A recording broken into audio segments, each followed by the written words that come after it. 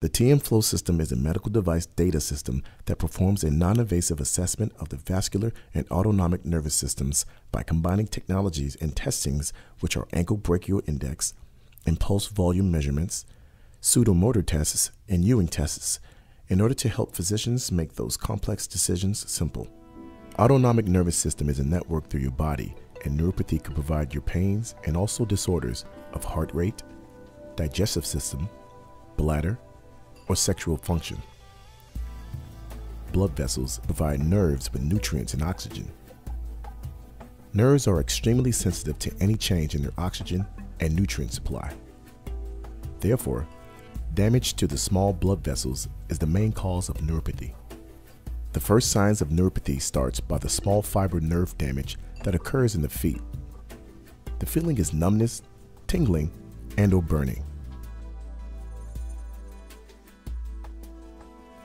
Peripheral arterial disease, accumulating plaque on arterial walls. This is peripheral arterial disease, also known as PAD. If there is no early diagnosis, there is no timely treatment. Blood flow in the arteries get obstructed resulting in brain stroke, heart stroke, amputations, and ulcerations. TM Flow system represents a dramatic improvement in the new challenge of early detection of diabetes complications and therefore allowed the physician to more treatment options.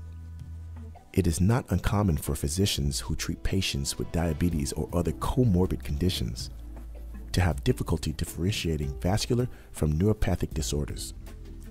The symptoms of autonomic neuropathy and vascular disease can overlap and mimic each other.